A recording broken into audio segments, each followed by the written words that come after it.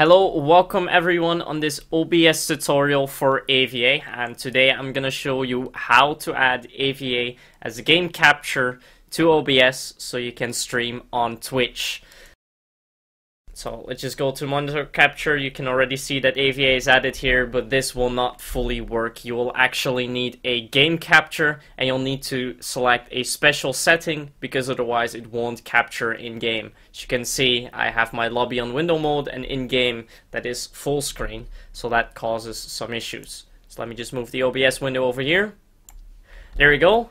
So to add the capture, you right click, go to add, and you go to game capture.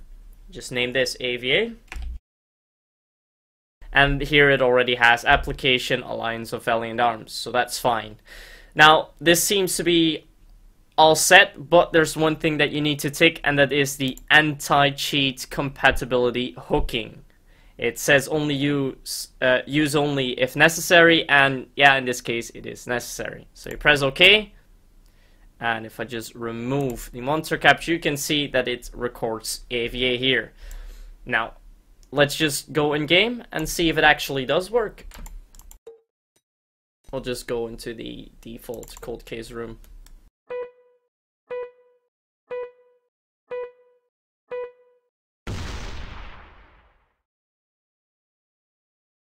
So as you can see, it just normally loads in. No issue whatsoever. And there we go. A fully set capture for AVA. That's all. Let's just go back to the lobby. We'll just show AVA like normal.